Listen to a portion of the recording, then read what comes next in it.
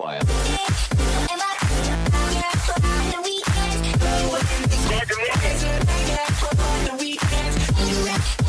is going on guys? It's Ryan7331 aka Royal Glitcher and have you ever experienced a crashing screen like a black screen of death sort of thing on Movie Box, where it just opens and closes and I'm sick today so I'm sorry if you can't hear me. I'll leave a text tutorial in the description and the only thing you'll need to do is fix that crashing is download iFile off of Cydia and go to var scroll down to mobile, uh, library, go down to preferences, and scroll all the way down to com.trendico.moviebox.plist and just swipe to the right and then it should say delete and just click delete and then moviebox should be fixed. So leave a like subscribe and have a nice day